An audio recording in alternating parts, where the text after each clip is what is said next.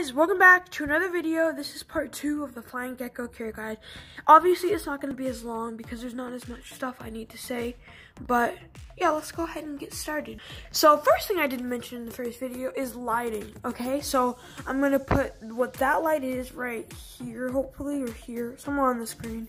And you're going to need a light, night light too. 75 volt is what I have. Um, I don't know if you can see that right up there. But, yeah, those are going to be your lights.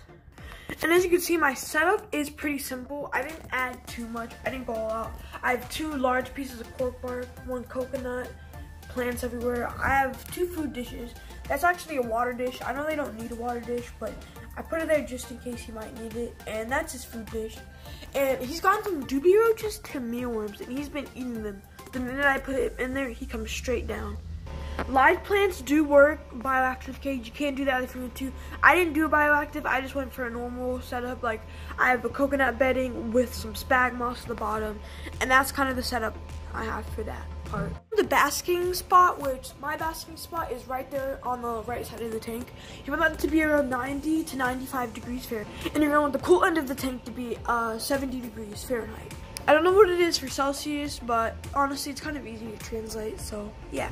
I think their lifespan, if you get a captive bred, like mine, right, Ringo is a captive bred, um, the lifespan can be up to five to eight years, and if you get wild caught, it's, and it's five to eight years also in wild caught.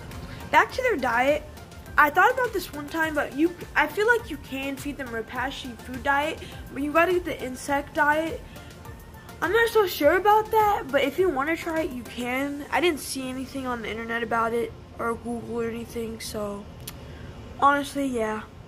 You can feed them. I, I haven't tried it. I just feed them mealworms and dubia roaches. That's kind of his main diet, so yeah.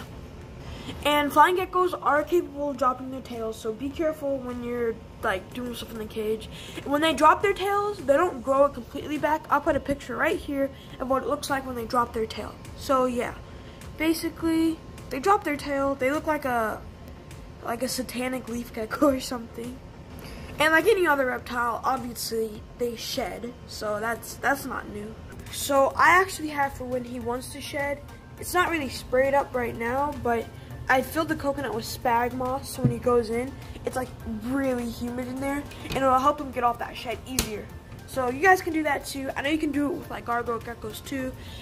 You know, basically any arboreal gecko or, yeah, that's one way to help them shed because it keeps humidity high, and it's easier to shed with high humidity. Other than that, that's pretty much all for today. I'm gonna just spray his tank real quick.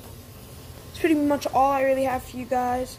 Hope you guys enjoyed today's video. Um, let me know if you guys want another care video because I have a ton of reptiles here. If you guys just want to know anything about any of them, um, yeah. I hope you guys enjoyed today's video and see you in the next one. Peace out.